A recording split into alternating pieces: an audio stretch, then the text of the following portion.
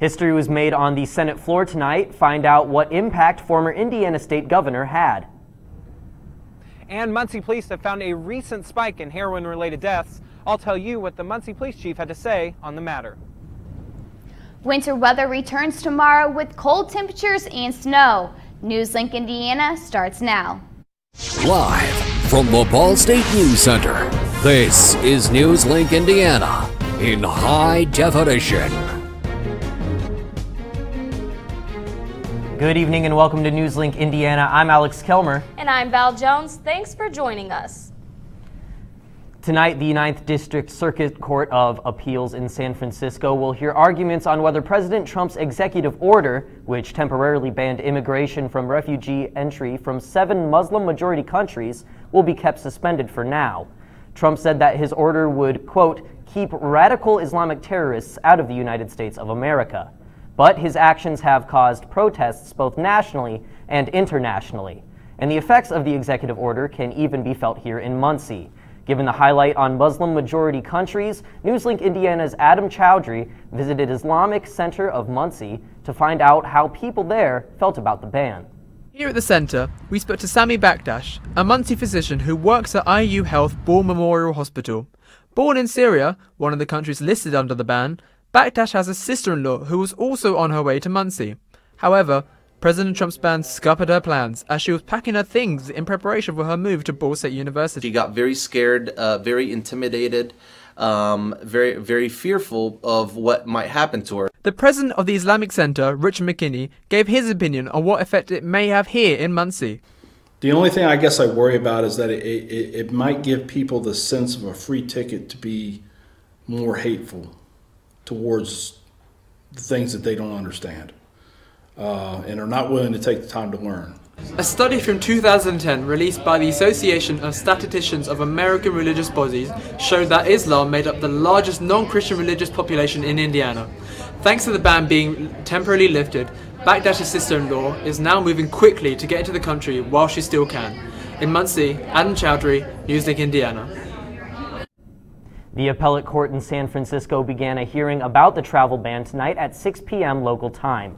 A court spokesman told the Associated Press a decision will likely come later this week. More news on the travel ban. Today, Secretary of Homeland Security John Kelly spoke out about tra President Trump's travel ban in a hearing before the House committee. Here's what he had to say. This is not a Muslim ban. If we had put countries on, predominantly Muslim countries, on this pause list, my view, that would be putting them on there because they're Muslims.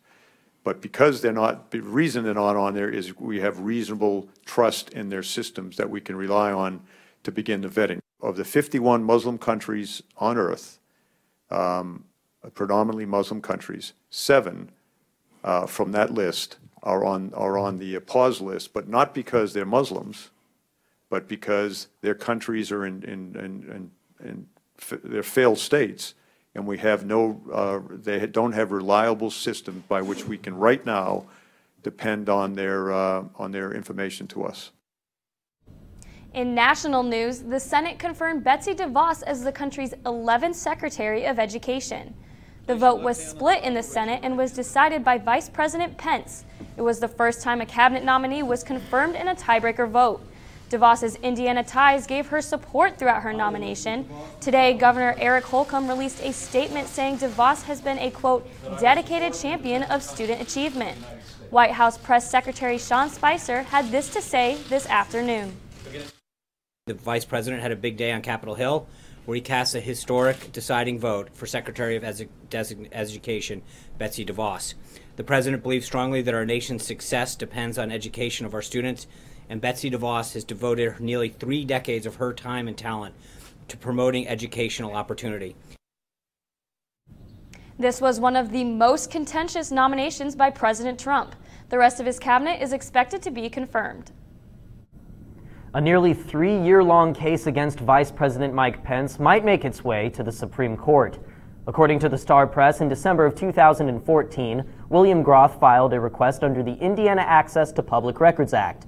Groth was looking for documents related to his decision to hire outside counsel in the lawsuit against the state. The document Groth got were heavily redacted, though. The redacted information could reveal political strategies Pence and other governors revised against former President Obama. Groth filed a petition to have the case heard in the Indiana Supreme Court. Ball State students and staff received an email today warning them about fraudulent emails. The emails appear to be coming from university officials, including the president and other administrators. The emails included a PDF file encouraging students to open it and provide a password.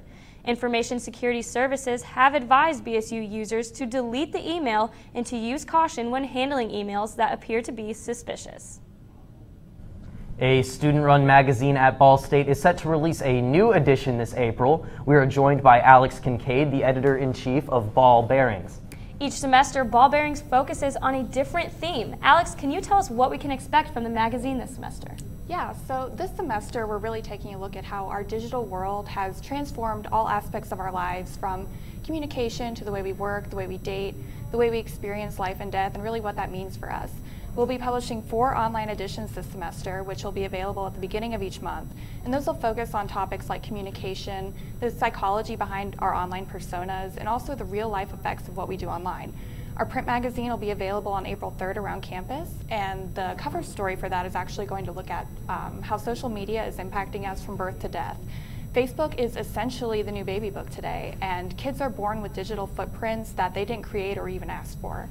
Um, social media is also changing the way we interact with really tough subjects such as death. You've probably seen this play out in either memorialized Facebook accounts or messages that people post to loved ones who have passed on. The print magazine will also talk about subjects like artificial intelligence, media literacy, and also the history of the internet and its socio-political uh, significance at various points in time to really show the progression of where we started and where we are today. Very interesting, and it's easy to see that uh, that even affects us right here at Newslink Indiana, having the iPads, unlike print scripts like it used to be. It affects us here just like everybody else. Yes.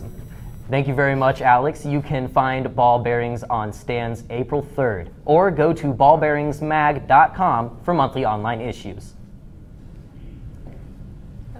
And it has been very strange weather here lately, back and forth with cold and warm. Chelsea, what can you tell us? Yeah, we had a Spring-like conditions for today. Temperatures in the 60s. 63 for Muncie was the today's high. 61 in Annapolis, and this is about 25 degrees warmer than average. And this is the beginning of February. Currently in, uh, in Muncie, we still have temperatures that are mild, 52 degrees. Winds from the west at 16 miles per hour.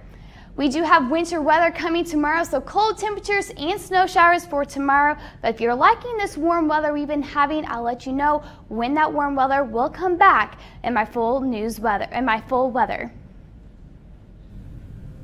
Thank you, Chelsea. Well, coming up, Newslink has more on the multiple drug overdoses that occurred in Muncie this weekend. And Indiana University is under scrutiny for racist flyers posted around their campus. All this and more when we return. Checking your fantasy league? Nah, just my 401k statement. Hmm, nice. Where'd you find the money for that? I've just been saving a little every month. I can't seem to save anything. Well, what about all this? What about the money you're spending? what money? It's gone before I can get my hands on it. I got a pizza for a Todd. Hey, can somebody spot me? When it comes to financial stability, don't get left behind. It's 547. Get tools and tips for saving at feedthepig.org.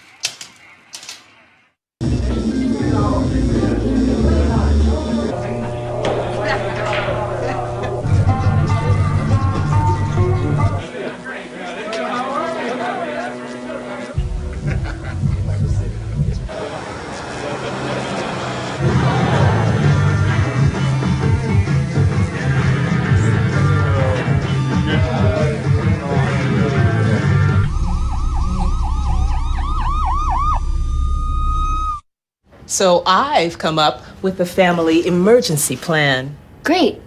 What is it? It's difficult to talk about, so I'm not telling you. How will we know what to do? You won't. I'm so glad I won't have to remember anything. And me too. Thanks for this, sweetie. Talk to your kids about who to call, where to meet, what to pack.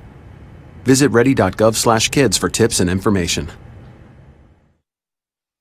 So, I just moved in with this family, and it's embarrassing. The little one, he likes to go outside and crawl around in the giant litter box. I don't know what he's doing. I mean, I was born and I knew how to use the litter box. Look at that! That's disgusting! Oh, poop already! You're making me nervous. Oh, okay, I can't look at this anymore. I really hope he grows out of this, for his sake. Welcome back. Muncie police have found a recent spike in heroin overdose deaths. They say the spike could be due to a bad batch of heroin out in the market. Max Lewis is live at City Hall with more. Max? Yeah, Val and Alex, there were 13 overdoses just this past weekend, and Muncie police say that there were also three heroin overdose related deaths. Now, Muncie Police Chief Joe Winkle says that they typically see a spike in heroin overdoses when a new batch is introduced into the market, typically from other drugs being mixed in, making it that much more lethal. Now, Sheriff Ray Dudley says that Muncie is not alone in this. He has been talking to his counterparts in surrounding counties, and they said they have all seen spikes in heroin overdoses. Now, Jason Rogers, er, Rogers, who is the director of EMS services here in Delaware County, says that between February 1st and February 5th, EMS officials had to um, administer 21 doses of Narcan. Now, Narcan is a drug that is used to counteract the effects of heroin overdoses. Now, Muncie Police and Delaware County prosecutors say that they will be meeting within the next week or two to discuss ways to deal with the recent spike in heroin overdoses. In downtown Muncie, Max Lewis, Newslink, Indiana. Thank you, Max. Newslink Indiana will have more on the story as it develops. Indiana University is working with the FBI to find those responsible for posting racist flyers across the university's Bloomington campus. Provo Provost Lauren Robel released a statement today saying the flyers were found on office doors of, quote, faculty members of color or scholars of race and ethnicity. Robel says the flyers were designed to intimidate and provoke anger, adding that the school, quote, rejects all forms of racism, bigotry, and discrimination. The offense is attributed to a group promoting white supremacy, but no suspects have been identified at this time. Audience last night at Pruis last uh, were left laughing about an unlikely topic. Comedian W. Kamau Bell spoke to the packed crowd about race and its impact on American culture. Newslink's Taylor Kelly has more on the story. Critically acclaimed socio-political comedian Kamau Bell spoke yesterday about how to end racism in about an hour. Students, faculty, and guests gathered at Pruis Hall to hear Bell address racism, sports and its relation to politics, representation, and more. Bell hosts the Emmy Award nominated CNN documentary series United Shades of America. He also co hosts two podcasts Denzel Washington is the greatest actor of all time, period, and Politically Reactive. Bell's unique approach to the topics of diversity and racism leave the audience laughing and entertained. He says, These are discussions we should be having. Bell discusses the Black Lives Matter movement and how it was originated. It's about a bunch of organizations coming together to create justice. This event was sponsored by Living Learning Communities, Housing and Residence Life, Multicultural Center, and Excellence in Leadership. Excellence in Leadership graduate assistant Julianne Keza says it's an interesting topic in the college setting. A lot of our students are ready to be activists, and this might um, either provoke their thoughts or get them excited about the idea of spreading the word. So um, it's just a good educational opportunity for everybody. Bell encourages the audience to know our history and how the government thinks about us.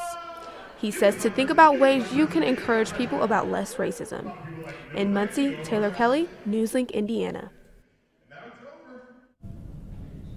Thank you, Taylor. Now, I don't know about you, Alex, but I'm kind of getting sick of this crazy weather. Like, I love the warm and everything, but it's just throwing me off a bit. That's right. Let's see what we have in store with Chelsea. Well, the spring-like temperatures will turn into winter weather tomorrow with cold temperatures and snow showers returning. And then for this weekend, we'll see these warm temperatures return for us, and I'll have more information in my full weather. Can you help me with this? My new dad teaches me all kinds of stuff. Hmm. Sure. He helps me with homework. That would be 3.6795. Thanks. Yep. He helps me with my decision making. I wouldn't use this one. Ever. And he's even teaching me how to drive. And that's why cars have bumpers. I'm learning so much. You don't have to be perfect to be a perfect parent. Thousands of kids in foster care will take you just as you are.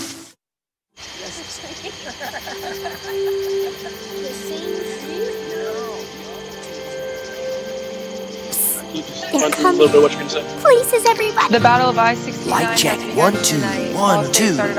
Everything looks good on our end. And lights. Come alive with the forest. Visit discovertheforest.org to find a forest near you.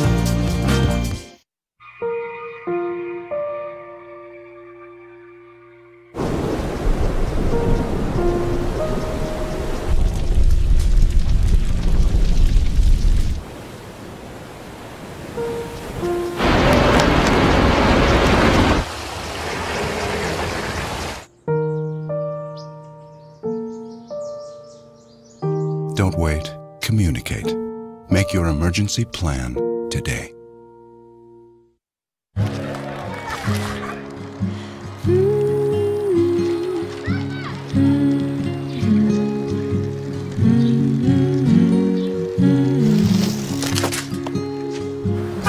Of all the things you've done with your bike, donating it to Goodwill may be the most incredible of all.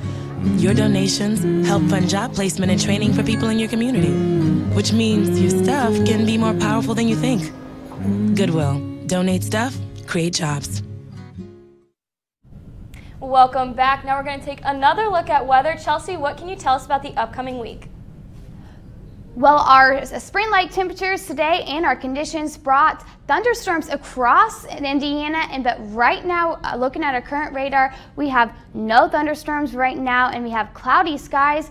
Taking a look at our current temperatures, temperatures are still pretty mild at 52 degrees, but pretty windy from the west at 16 miles per hour. We'll keep these uh, cloudy conditions right now, and then as we head on into the evening, temperatures will start to cool back down to the 30s. Taking a look at our current conditions around the state, we're still fairly mild. We have 52 degrees in Muncie, 51 in Indianapolis, and 51 in Bloomington as well. But we're starting to see this cold front starting to push its way through Indiana, as we can see with the blue temperatures back here with Kokomo 47, Lafayette 45. So temperatures are only going to get colder as we head into tomorrow. This is the temperatures for tomorrow. 36 for the afternoon high in Indianapolis, up to 35 in Muncie. And as we head into the evening, it will continue to get colder down to 27. Taking a look at tonight, we're going to have overcast skies, and that's going to continue to move on through. And then as we head into tomorrow morning for your morning commute, we're going to have overcast skies, and that's going to continue throughout the day until around 2 o'clock. That's when the snow is going to start to move in and that's going to stay persistent with us for your evening commute. So when you're headed home from work, you might have some slippery roads and also your visibility may be reduced as well. Looking at our snow uh, accumulation, we may have about half an inch, maybe even up to two inches tomorrow. Taking a look at tonight's forecast, 35 will be our low with isolated showers possibly throughout the night, but mostly cloudy skies with the winds from the west at 15 to 25 miles per hour. Looking at tomorrow, high of 36 with afternoon uh, snow, and then as our winds will be from the north at 10 to 20 miles per hour. Taking a look, if you're going to the women's basketball game tomorrow night, temperatures will be in the 30s, but you're going to be facing some of the snow showers. And so make sure you are bundled up if you're headed outside. Winds will be from the north at 5 to 10 miles per hour. In our seven day forecast, we'll have snow tomorrow and still chilly on Thursday, 24 degrees. But take a look back up into the 40 40s for Friday and then into the 50s for this weekend. And then we may see some um, rain chances for Saturday and Sunday. Saturday will be in the evening, and then for Monday and Tuesday, we'll have some sunny skies. Thank you, Chelsea. What's going on in sports tonight, Devin? Well, our men's basketball team is in Akron taking on the Zips, and our men's volleyball team is facing off against Fort Wayne Mastodons. All of this and more when we come back. Here's to the things that can keep us safe. Those we use all the time with hardly a thought. Those that are silently standing by to save our lives. And now, those that we carry with us everywhere we go. Many mobile devices will now bring you wireless emergency alerts, real time information directly from local sources you know and trust. With the unique sound and vibration, you'll be in the know wherever you are.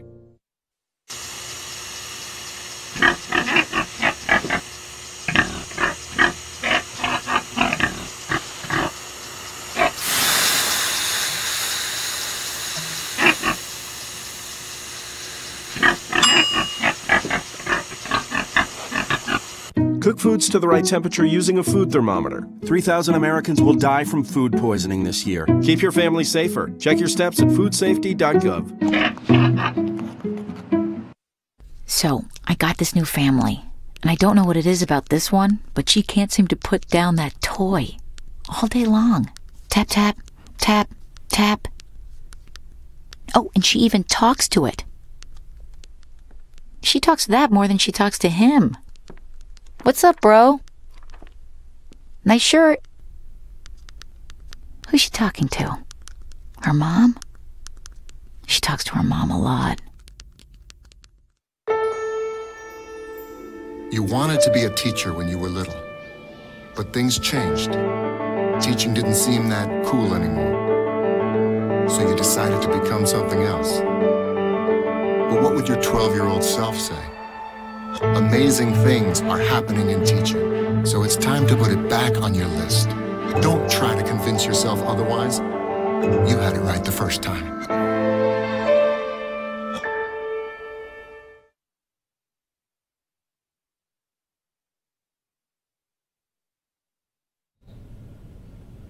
And welcome back to Newslink Indiana. I'm Devin Tarr with tonight's sports.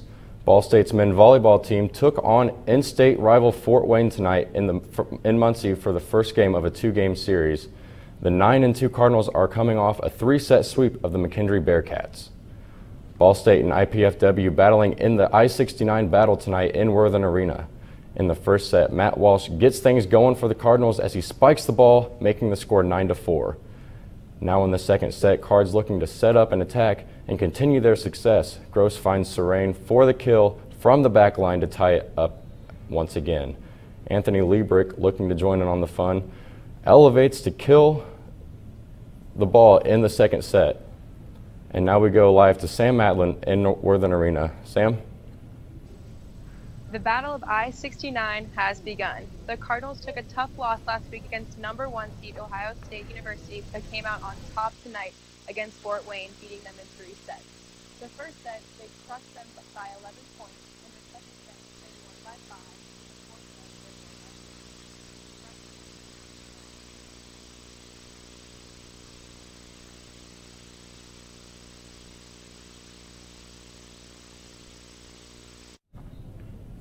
Ball State men's basketball team was looking to bounce back tonight after a tough loss against Buffalo. The Cardinals took on the blazing hot Akron Zips, a team that has won 12 of its last 13 games. The 6'6 senior Franko House led the way for the Cardinals in the first half with seven points on three of five shooting. Nine minutes into the first half, House takes the pass from Tyler Persons, drives and powers it to the rim 4 2. Akron still up 19 17. Next possession for Ball State, down by two. House sets a high screen for Ryan Weber, who finds the big guy on the perimeter. House splashes it home to put the Cardinals up by one. Later in the half, both teams fighting for the ball, and Jamon Ivy comes away with the loose ball. Collect shoots over Trey Moses and puts the Zips back on top by two. Akron would go on to win this 65 to 63, picking up its 20th win on the season, while Ball State falls to 15 and 9. The women's basketball team is set to play Bowling Green tomorrow in Worthen Arena. Ball State is looking to pick up their third straight win after a 21 point victory over Miami of Ohio. After a two game road trip, the Cardinals are back in Muncie and ready to, to defend home court. Newslink Indiana caught up with G senior Jill Morrison, who stressed the importance of tomorrow's game. It's really important to take care of the games like on your home floor because you know like definitely home court advantage and you want to win every one that you can at home and um, it's just part of taking care of your business and then like getting things done on the road as well. So guys, tomorrow's seven o'clock tip-off starts the first of two home games for the Cardinals. Just one game out of the MAC West lead from Northern Illinois. Down the stretch with only seven games left, let's hope they can pick up some big wins. Yes, definitely. Absolutely. And uh, what were you seeing from uh, Ball State tonight, taking on the nearly undefeated Akron? Uh, were we seeing some good things for them tonight, some promise? Yeah, definitely some good ball movement. We stayed in there, almost won. In the last seconds, we kind of fell apart, but we showed that we were we are a good team and we can come away with the conference title. All right, looking for a great close to the season. Yes, thank you, Devin. Up next, find out who will perform alongside Lady Gaga this weekend. And Jake Gyllenhaal can sing? Your entertainment news is next. Hey, did you know 2.4 million loving cats and dogs in shelters and rescues need our help to find a home? Let's go to the shelterpetproject.org and meet if you are in a shelter near you. Harlow, oh, she's one great listener who loves to hear all your stories. My kind of cat. Cerulo is a sweet, goofy boy who's eager to please. Sounds just like another dog I know. So go to the shelterpetproject.org, search your local shelters and rescues, and go for a cuddle with your next best friend. Adopt. Sure, I look cute now, but when my owner lost his job, it was rough. I was living on the street, and one night, me and this Cocker Spaniel got into it so bad, I wound up looking like an ice cream cone. I cried a little bit, but thankfully I got rescued, so I'm running, I'm jumping, all back to my old self, and I'm ready to give unconditional love, even if you put a lampshade on my head.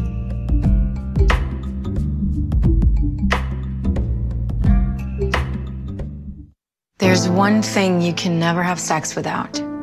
It's not something you buy. Or something you take. In fact, there's only one way to get it. It has to be given to you, freely. It's consent. Because sex without it isn't sex. It's rape. Consent. If you don't get it, you don't get it. It's on us to stop sexual assault. Learn how and take the pledge at itsonus.org.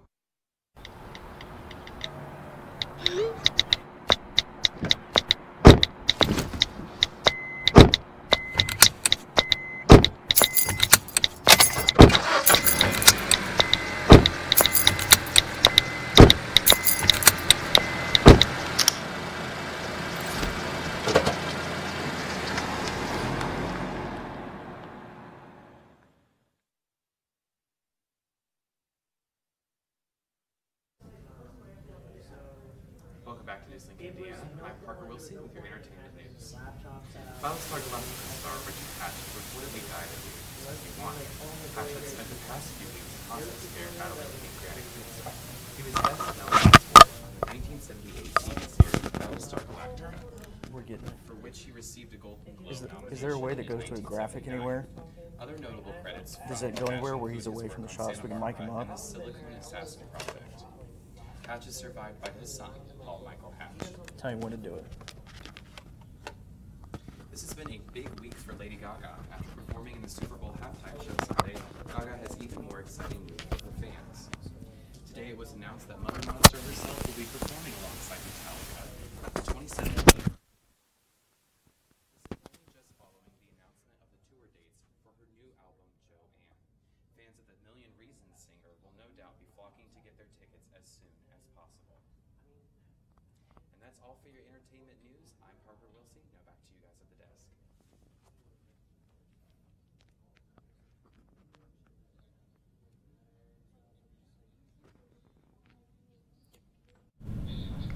Jake Gyllenhaal shows off his singing chops in a new video that was released earlier today. Gyllenhaal will make his Broadway de- debut in the revival of Sunday in the Park with George, which will begin preview February 23rd. A recording of him rehearsing for the show made its way to the internet today, where he shows off some serious pipes. Let's take a listen. When the woman that you wanted goes, you can say to yourself, Well, I give what I give. But the woman who won't wait for you knows that however you live, there's a part of you always. Thank you, Parker and Alex. Now, Chelsea, how about that last look at weather? Well, we're going to see snow for tomorrow, and colder temperatures will last for Thursday, but warmer temperatures will return for us this weekend, and possibly some rain chances for Saturday and Sunday. And next week looks like we're going to have some sunny skies. Awesome. Thank you, Chelsea. That's all tonight for Newslink Indiana. Be sure to watch tomorrow night at 9 p.m. right here on Cardinal Vision. And be sure to like us on Facebook and follow us on Twitter. Have a good night.